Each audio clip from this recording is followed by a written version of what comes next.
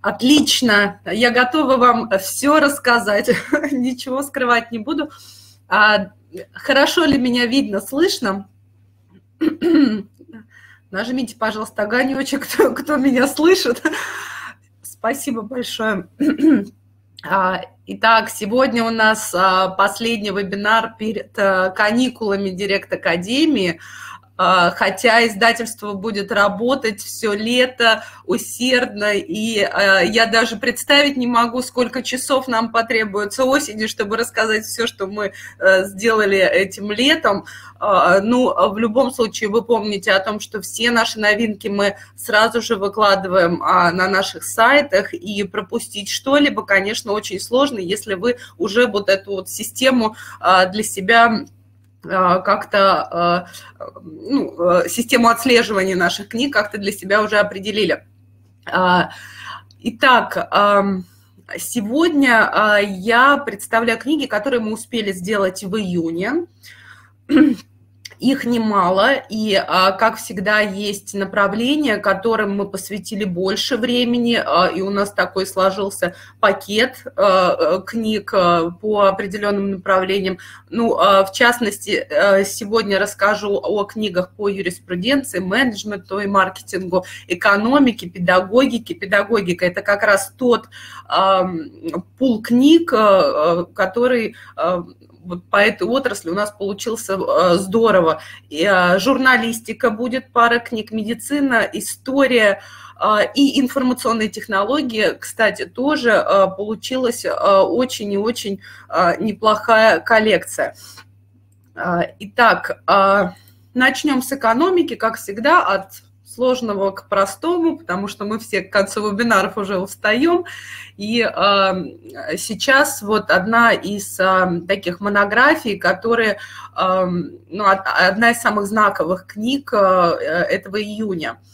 Принципы структурирования управления социально-экономическими системами поскольку а, в большинстве регионов а, России наблюдается устойчивая и непреодолимая тенденция к уменьшению численности населения, эта монография приобретает особую актуальность в связи с тем, что ее авторы предлагают ряд мероприятий, способствующих нивелированию негативных последствий подобных кризисных явлений.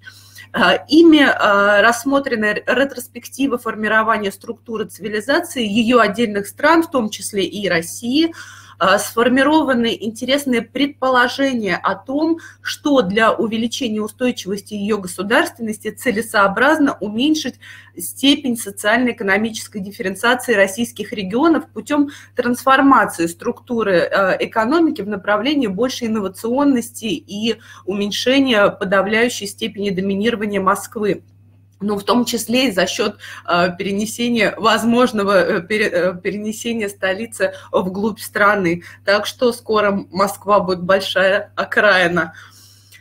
Ну, по крайней мере, авторы, видимо, на это надеются.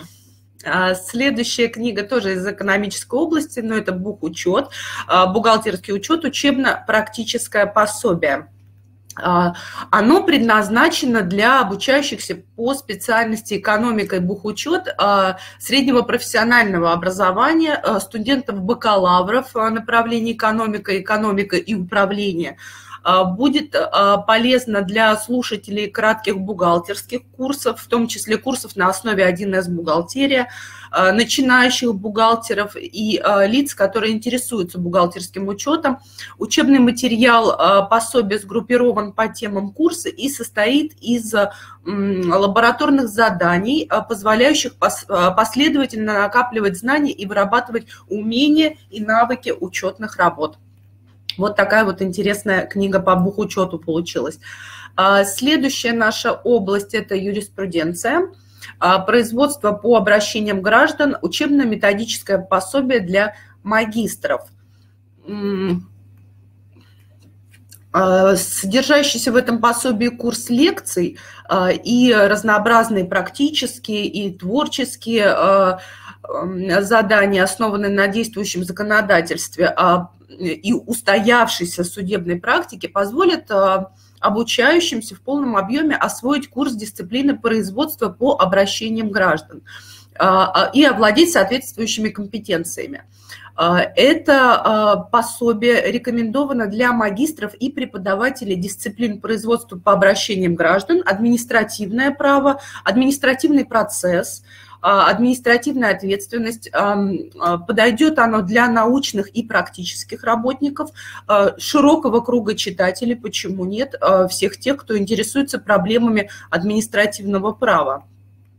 Следующие пара книг – это ну, пока начнем с одной. Менеджмент и маркетинг. Основа международного менеджмента и маркетинга. Учебное пособие.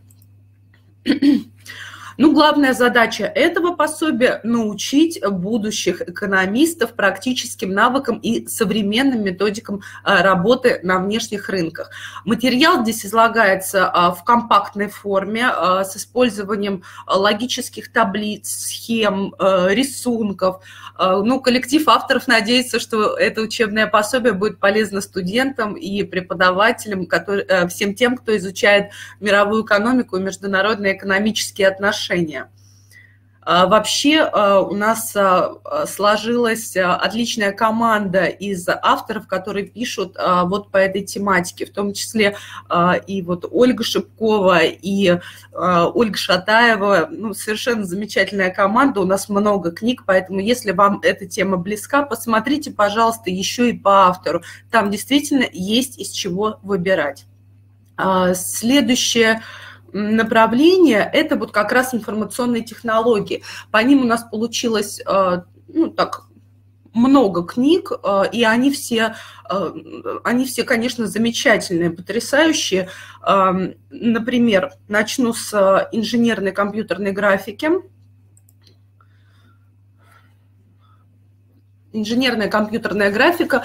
В AutoCAD это учебно-методическое пособие. В это издание вошел современный курс инженерной графики, который основан на базе наиболее эффективного и популярного графического редактора Autodesk и а, AutoCAD.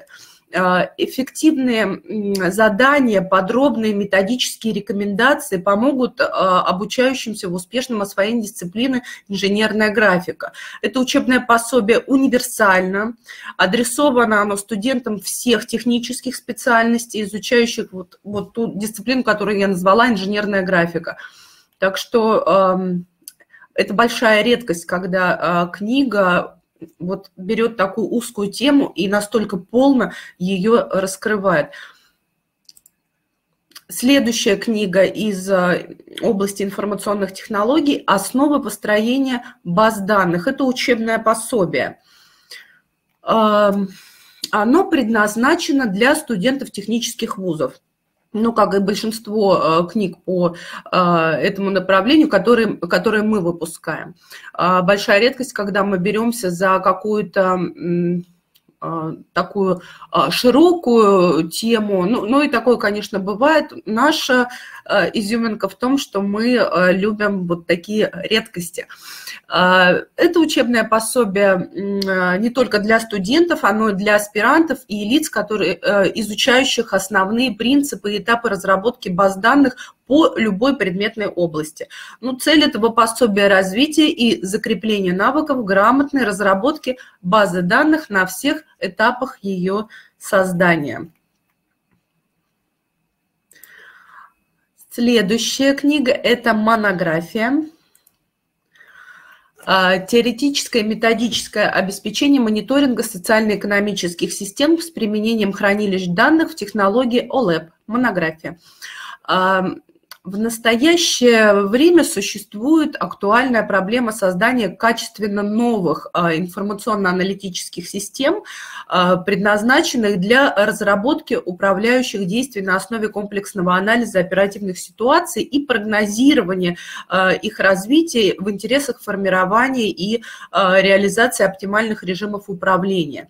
Авторы этой монографии показывают и доказывают, что хранилище данных и технология Alep, это э, интерактивная аналитическая обработка, являются мощным инструментом для разработки систем информационного обеспечения мониторинга социально-экономических систем. В общем, книга очень и очень значимая в этой области.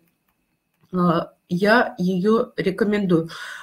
Следующее тоже информационные технологии, интернет-технологии, оцифровка бумажных и иных информационных носителей, задания, методические рекомендации. Это, соответственно, методическое пособие – а, его мы рекомендуем студентам экономических специальностей, менеджерам, маркетологам, социологам и всем, кто хочет познакомиться с методиками решения практических задач по а, дисциплинам информатика а, или информационные технологии. Но спектр задач, представленных в этом пособии, достаточно объемен. Он охватывает многие сферы нашей жизни. Использование электронной почты, рынок недвижимости, транспортные задачи и так далее, и так далее, и так далее. В общем, получилась очень-очень такая объемная вещь. Следующая книга «Учебно-методическое пособие. Компьютерная геометрия и графика. Задания и методические рекомендации». Ну, студентам всех технических специальностей будет а, полезно это пособие. А, в него вошли наиболее эффективные задания и подробные методические рекомендации по созданию растровых рисунков э, и векторных чертежей в рамках э, дисциплины компьютерная геометрия и графика. А, автор этого пособия предлагает основные принципы и методы геометрического моделирования и методологии разработки графических документов. В общем, кто, э, кто в теме, я думаю, тот оценит вообще вот в целом этот пакет книг по информационным технологиям. А, следующая книга – это монография «Повышение эффективности систем поддержки принятия решений на основе многомерных хранилищ данных». Ну, высокое качество принятия решений при анализе сложных проблем, а, связанных с обработкой больших объемов информации, а, трудно достигнуть без привлечения средств вычислительной техники. Ну, мы уже даже писать ручками не можем, да, все время печатаем. А что касается обработки какой-то информации, больших объемов, то это бесполезно. Так вот, авторы этой монографии разработали модели и алгоритмы а, для методики построения адаптивных современных а, систем поддержки принятия решений которые способны обеспечить эффективность их использования, заключающийся в увеличении количества обрабатываемых в единицу времени запросов за счет адаптации внутренней структуры. То есть чем больше мы туда а, а, загружаем, тем это все быстрее должно а, работать. Научная новизна проведенных исследований имеет существенное значение для выполнения требований по увеличению быстродействия систем поддержки принятия решений в различных отраслях промышленности и народного хозяйства. Вот зачем нужна эта книга. А, следующая э, книга – это уже область математическая, математический анализ, алгебра, а, учебно-методическое пособие в двух частях, начало анализа, теория пределов. Будет еще вторая часть, но, скорее всего, я о ней расскажу только осенью. А, э, в этом пособии ну, ну что, будет интересно, конечно, оно студентам-первокурсникам, потому что эта дисциплина э, изучается именно на первых курсах. Студентам-первокурсникам, которые начинают изучать теорию математического анализа и сталкиваются с трудностями в плане понимания этого раздела высшей математики. А, кроме того, это пособие будет интересно э, и магистрантам, и аспирантам, и инженерам, а, желающим восстановить свои знания в этой области, как я уже сказала, это такой самый первый этап, а, с которого все начинают. А, издание это посвящено основным методам вычисления пределов различных функций в точке. В начале каждого раздела приводятся теоретические сведения, затем разбирается довольно большое количество примеров, после которых предлагаются задачи для самостоятельного решения с ответами. Э, это значительно э, упрощает усвоение материала. Так что это, это очень важно. Вот если бы я увидела книгу без ответов, боюсь, что я бы ее не приобрела. А здесь они есть. Друзья, рекомендую. А, следующая книга тоже из этой области «Основы линейной алгебры», но это уже практикум. Математическое образование, конечно, всегда являлось важнейшей составляющей фундаментальной подготовки а, специалистов. И вот это издание, которое мы вам представляем, окажет неоценимую помощь а, в изучении основ линейной алгебры. А, краткие теоретические сведения, необходимые для решения задач, методические указания с теоретическими вопросами, подробно разобранные упражнения и набор заданий трех уровней сложности – все это позволит реализовать дифференцированный подход в обучении, и каждый студент сможет решать задания доступного ему уровня сложности. Ну и, конечно, подтягиваться под а, более, более трудные а, задачи.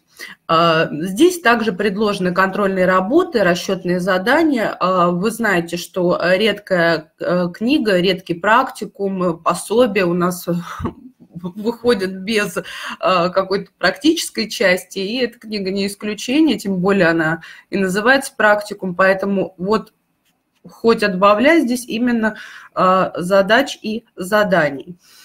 Следующая книга – это уже область физики. Вообще, конечно, вот этим тандемом я восхищена. Э, первая книга о шаровой молнии, она разлетелась практически по всем библиотекам, но действительно э, там собрана информация, которая иногда попадается нам на глаза, там кого-то ударила молнией под деревом и так далее, а здесь э, люди подошли не просто к сбору информации вот таких случаев, да, но и как, к какому-то объяснению советам, рекомендациям. В общем, книга была потрясающая. А сейчас э, немного э, другая область, но все это молнии, все это страшно и страшно интересно. Этюды о грозе, огни святого Эльма, свечение воронок смерчей, э, разные молнии. Это монография. Что вам о ней подробнее рассказать? Здесь авторы попробуют э, разобраться с такими малоизученными природными феноменами, как огни святого Эльма. А, ну, соответственно, и э, молнии, свечение воронок смерчи, они приводят описание очевидцев, то, о чем я говорила, очень интересные э, такие э, впечатления людей, которые все это дело видели. Э, сравнивают их с уже известными по официальным изданиям, энциклопедиям, учебникам и делают соответствующие выводы. В общем, книга очень-очень интересна, а если эта область вообще вам близка, то я думаю, что она должна быть у вас на полке. А, следующая книга – это учебник для вузов а, «Промышленные здания». А, вообще, друзья, если кто ходит постоянно на наши вебинары по книгам, может быть, вы уже заметили, у нас очень часто авторские тандемы, встречающиеся авторские тандемы, они ну вот как-то э, все э, выпускают все книги э, на постоянной основе. И вот этот тандем, это отец и сын Шубины, они выпускают вот в области строительства, архитектуры совершенно потрясающие вещи. Вот предыдущая книга была о противорадоновой защите такая большая редкость. Э, оказывается, что специалистам остро не хватало вот такой информации. И сейчас новая книга «Промышленные здания». А, промышленные здания и сооружения всегда составляли ну, неотъемлемую часть а, архитектурно-промышленной среды, то, где мы сейчас с вами живем. В этой связи учебник для вузов, а, который мы вам предлагаем, будет востребован как у студентов строительных специальностей, так и у состоявшихся специалистов. Это вот именно то, о чем я говорила. То есть эти книги не только для того, чтобы научиться, эти книги для того, чтобы они постоянно использовались, постоянно к ним обращались.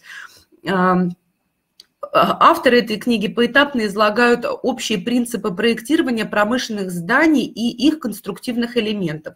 Издание это снабжено, а, как и все книги этих авторов, ну, такая э, специальность, такое направление. Без рисунков, схем это просто невозможно сделать.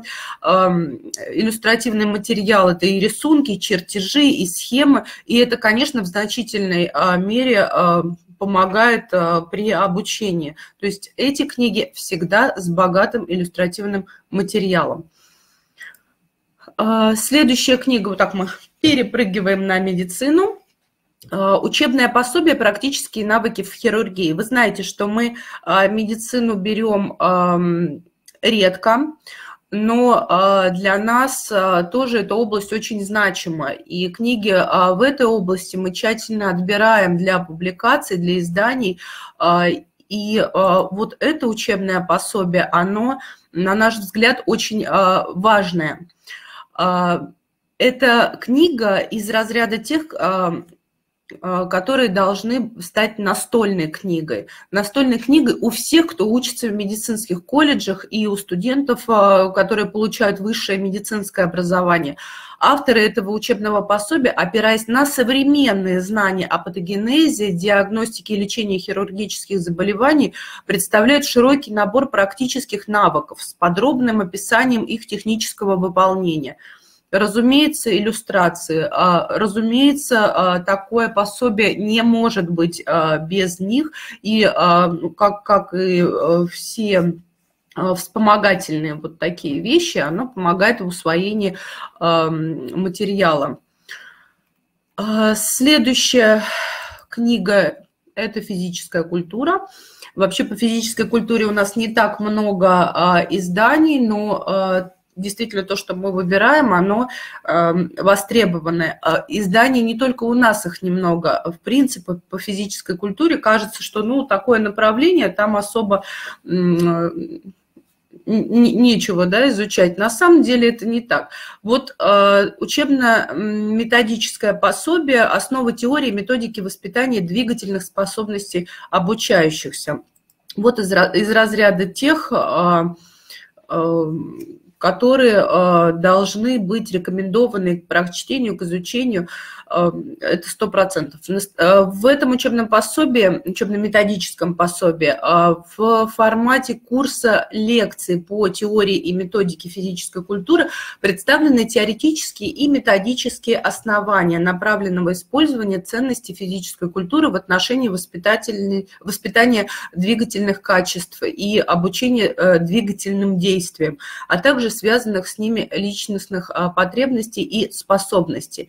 Это пособие адресуется обучающимся образовательных организаций физкультурного профиля, системы высшего и среднего профессионального образования, а также всем а, для практических занятий а, работникам а, различных образовательных организаций, всем тем, кто реализует программы физкультурного образования и спортивной тренировки. В общем, это такое одно из новых пособий, которое дает современные, э, современный взгляд, современные методы, очень много устаревает даже в таком направлении, как физическая культура. Э, иностранные языки. Э, получается, у нас э, в этом году иностранный язык вышел чуть ли не на первое место по количеству изданных книг. И все они не просто стандартные, стандартная грамматика и практика, нет, они все большинство из них, подавляющее большинство, они посвящены каким-то узким темам. Вот а, обратите внимание а, на те, а, на те книги, которые я сегодня представлю. Первая пара книг – это группа авторов, тоже уже состоявшиеся, реляционные, семантические, наполненные грамматические категории значения формы на материале немецкого языка. Сегодня я вам расскажу не только про немецкий, обратите на это внимание. И второе пособие – значение категории, ориентированной на выражение синтаксических и несинтаксических грамматических единиц. Проблема аналогии и аномалия. А, эти пособия сформируют у обучающихся базовые компетенции и навыки владения и распознавания иностранной речи. Они содержат основной теоретический материал по грамматике немецкого языка и предназначены для комплексной работы над немецкой грамматикой по морфологии и синтаксису. Ну, это, это, этот комментарий приемлем к обоим э, пособиям, э, и э, я думаю, что не стоит уже обращать внимание на ваше внимание на то, что для студентов средних профессиональных образовательных учреждений у нас даже выработана определенная обложка, вы видите, да, для СПО, и учебное пособие, которое пригодится и для высшего образования. Следующая кни книга а, тоже из области иностранных языков. И вот, а, например, обращайте внимание, а, дорожно-строительной специальности, концептуально-терминологический аспект изучения дорожно-строительных специальностей, учебное пособие, и оно языковое.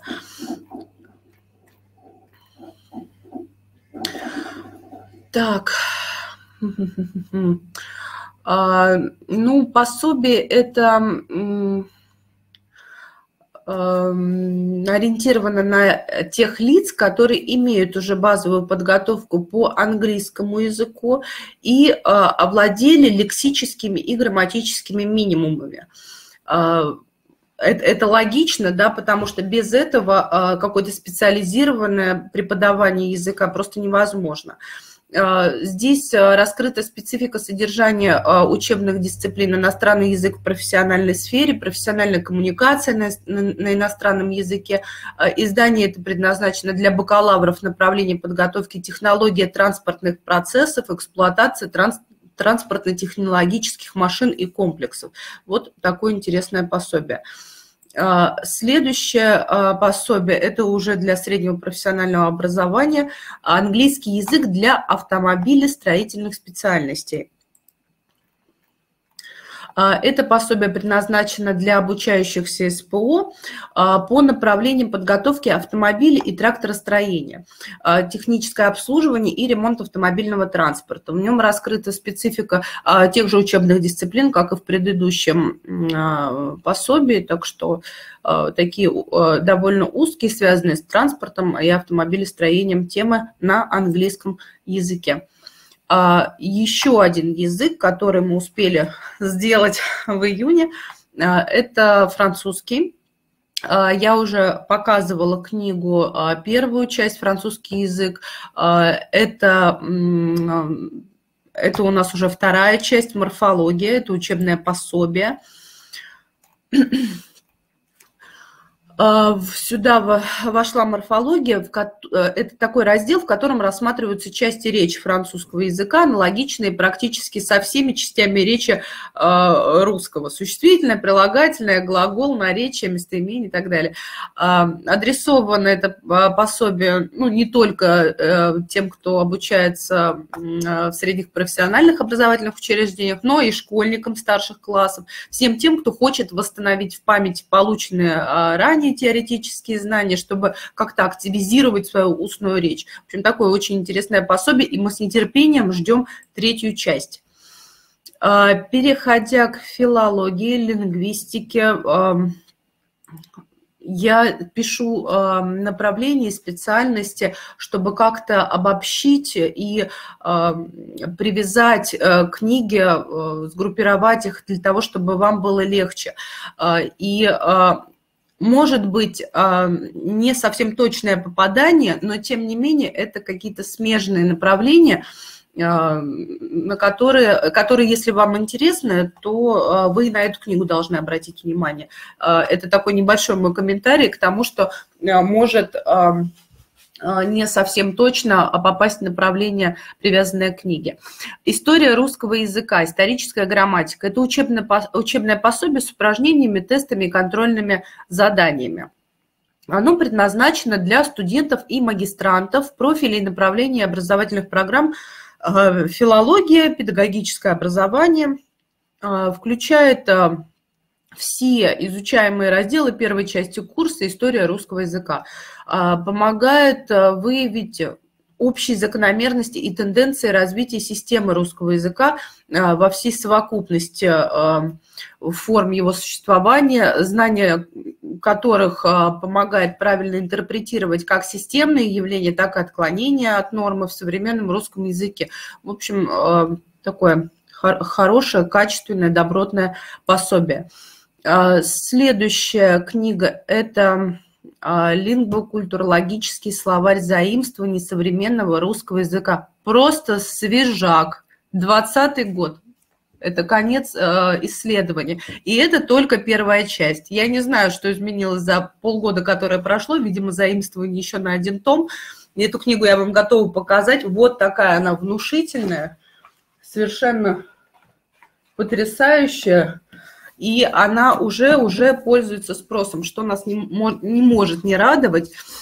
А, более того, а, Татьяна Голикова наш постоянный автор и а, пишет совершенно уникальные словари, а это в наше время редкость. Все помнят только Даля, да, и же с ним. Вот. А на самом деле сейчас есть люди, которые все это изучают и составляют словари. То есть такая вот работа, а, это направление сохраняется. А, эм, здесь а, чуть подробнее расскажу, что здесь есть. Здесь собрана новейшая неологическая лексика за десятилетия последние. Она еще не зафиксирована официальными словарями полторы тысячи лексем и выражений, иллюстративный материал из современных средств массовой информации, речь пользователей – интернета, э, все это делает это издание актуальным, и мы надеемся, что очень востребовано. Но мы уже видим, что оно востребованное, поэтому то, что мы попали в точку, э, это не может не радовать. Адресовано оно, разумеется, филологам, журналистам, социологам, культурологам, всем, кто интересуется изменениями, происходящими в русском языке в нашей повседневной жизни. Вот прямо сейчас. А, следующее учебное пособие это мы уже переходим к журналистике. Есть у нас пара книг, которая вышла в июне. Новейшая история российской журналистики. 90-2010 а, года. Это учебные пособия. А, его я тоже вам готова показать. Вот оно. Тоже такого же большого формата. Тоже книга очень такая объемная получилась. В общем, такая.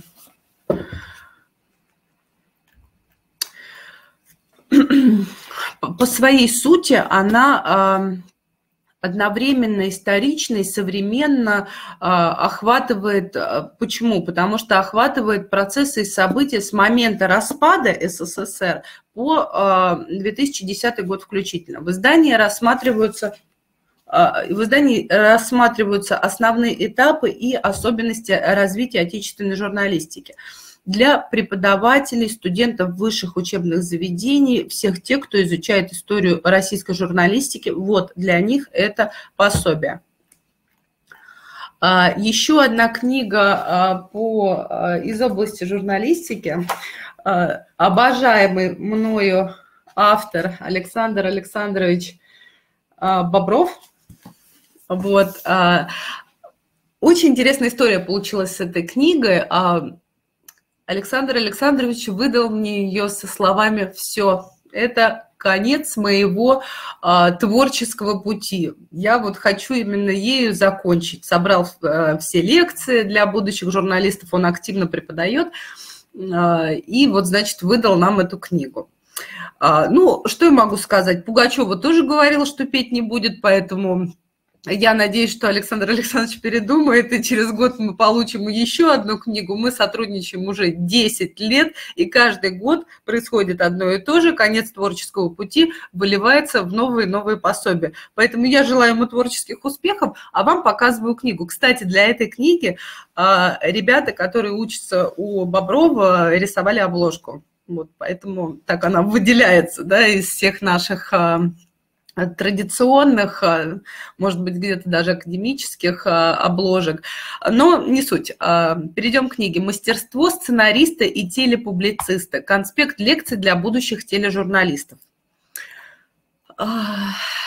Ну, еще один момент. В нашем издательстве уже выходила книга Александра Александровича. И вот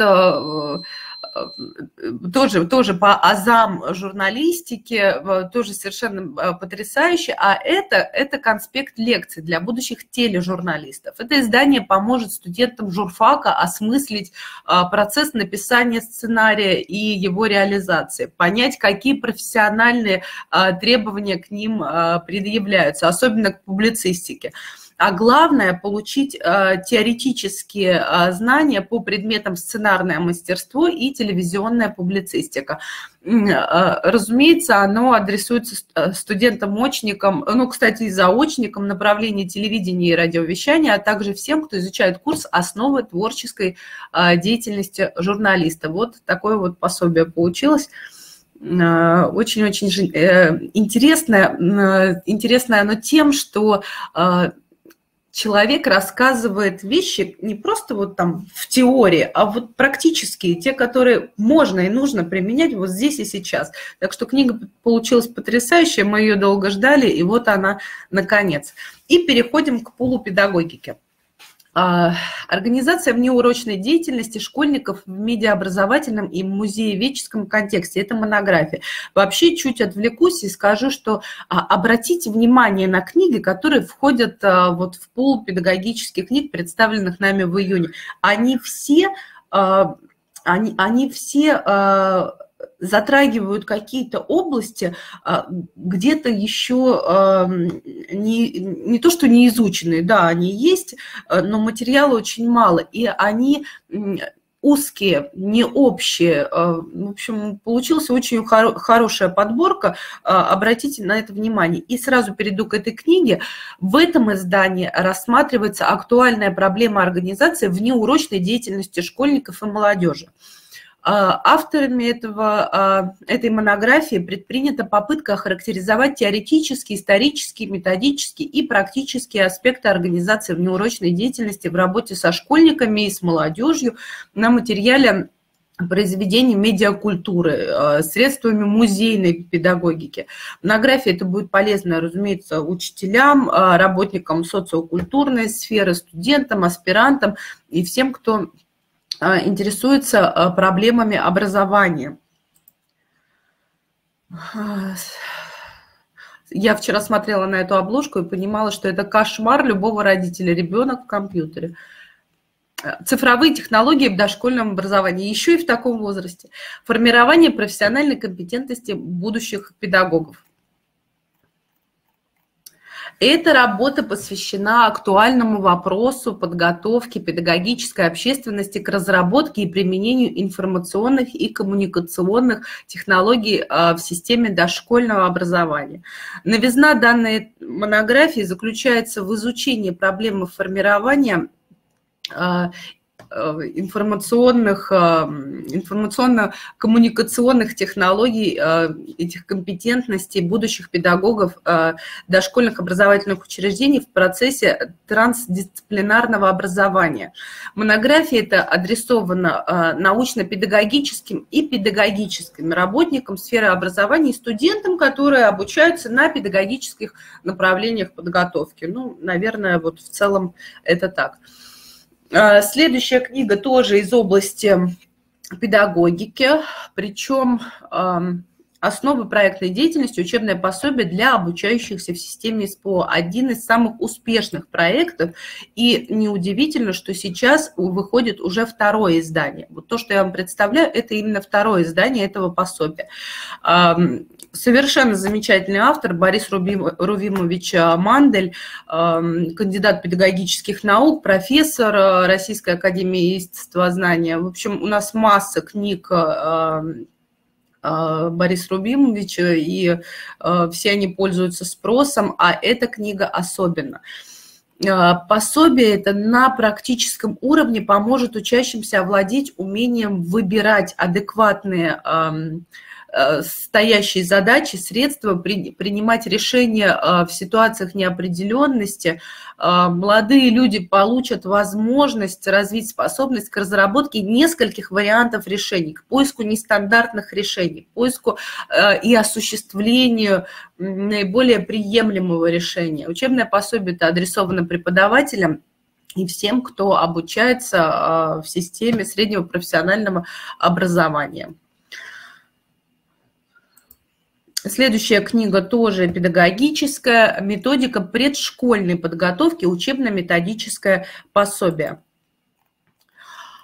А, это пособие обеспечивает подготовку студентов, обучающихся по направлению педагогических специальностей к выполнению профессиональных задач и а, видов а, деятельности по методическому сопровождению образовательного процесса и реализации образовательных программ предшкольной подготовки детей старшего дошкольного возраста.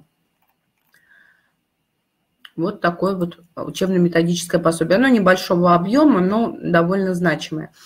А, следующая книга «Готовность бакалавра преодолевать влияние стереотипов межкультурной коммуникации». Монография. А, мы а, наблюдаем смешение культур, национальностей, и э, в образовательных учреждениях, в образовательных процессах. Это момент очень важный, он не спорный, он естественный. И эм, то, как э, реагируют эм, э, педагоги, как должны реагировать, вот вкратце содержится в этой книге. Она посвящена актуальной на сегодняшний день проблеме готовности а, бакалавра преодолевать вот эти стереотипы.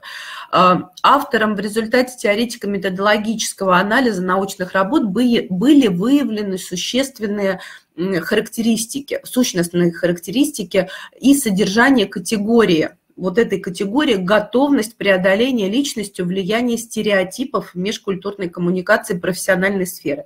Это достижение взаимного понимания. Заинтересованность при а, при тех а, культурных различиях за счет получения знаний особенностей национальной культуры, характерных национальных черт, обычаев, традиций, правил, норм поведения а, партнеров по коммуникации. В общем, эта книга это важная и нужная, и таких вещей еще не было. Это издание, конечно, будет полезно и научным работникам, и педагогам, и студентам, э, студентам вузов, так что книга, которая действительно э, дождалась своего часа. А, и э, пара книг по истории. Это мы уже перешли к таким э, легким, гуманитарным, приятным дисциплинам. История России в схемах, учебное пособие. Да, много, много присыщено э, на рынке, очень много и в печатном, и в электронном виде учебно-методической литературы, э, и по истории в частности. Э, это и пособия, и справочники, и какие-то картографические практикумы. А вот учебные схемы с использованием условной графики встретить довольно затруднительно. Поэтому в нашем издательстве вышла вот эта новинка. А, так называемый а, графический учебник. Он содержит обобщающие блоки по четырем периодам истории России. 57 схем с текстами а, и заданиями к ним. Иллюстративный материал богатейший. Спрос на эту книгу уже есть, хотя мы только-только ждем первый тираж ее. Иллюстративный материал э, этого издания, конечно, в значительной мере облегчает обучение, как и любой иллюстративный материал адресовано преподавателям и учащимся основной и средней школы. Большая редкость, что мы делаем книги для а, учащихся школ, но они есть. И, как правило, они такие, которыми могут пользоваться абсолютно все. Э, в частности, вот э, этим посо... Э, учебным пособием совершенно спокойно можно самостоятельно готовиться к ОГЭ, к ЕГЭ по истории. Вот я на своей дочери в следующем году и проверю. И еще одна книга по истории «Наполеон против Суворова». Автор наш постоянный Вячеслав Летуновский – он а, российский бизнес-тренер. А, в первую очередь, это книга для любителей военной истории. Но она, безусловно, будет полезна и а, всем тем, кто развивает какие-то навыки стратегического анализа. И это достаточно, ну, достаточно широкий круг читателей, руководителей всех уровней, топ-менеджеры, юристы, какие-то коучи, все, все те, кто помогает своим клиентам выстроить стратегии достижения цели как э, на работе, так и в жизни. В общем, такая очень объемная книга, которая распространяется на очень широкий круг э, людей в, в ней замешанных. Вот. А, это и преподаватели, и игропрактики, и, конечно, просто люди, заинтересованные в своем саморазвитии, овладении стратегией достижения победы. Такая мотивационная а, книжечка. А, ну, как книжечка, объемная получилась. В издании содержатся конкретные ситуации для военно-деловых игр и развития стратегического менеджмента. Ну, пожалуй, вот это вот суть этой книги. Иллюстративный материал богатейший дополняет э, наглядной информацией, то есть э, там все понятно, все доступным языком написано. Ну, не случайно э, мы взялись и за эту книгу Вячеслава Летуновского, предыдущие его книги, да, они все успешны. Поэтому и эта мотивационная литература эм, для нас оказалась важна. А, друзья, ну, пожалуй, все. Вот так неожиданно я закончила рассказывать вам о новинках июня. А, напоминаю, что наше издательство оперативно выкладывает а, все на наших ресурсах, на нашем сайте directmedia.ru. Помните, что у нас есть не только книги, у нас есть и аудиокниги, и электронные, и бумага. Ну, в общем, полный фарш, так что все, а, чем вы пользуетесь, все это есть на наших сайтах. Не забывайте на нас этим летом, приходите на наш сайт, смотрите, какие новинки мы выпускаем, и о них я вам расскажу уже осенью на вебинаре, посвященном новинкам издательства Direct Media. Если у вас вопросов нет, а, я желаю нам всем хорошего отдыха, прощаюсь с вами до осени а, и хорошего дня. Спасибо.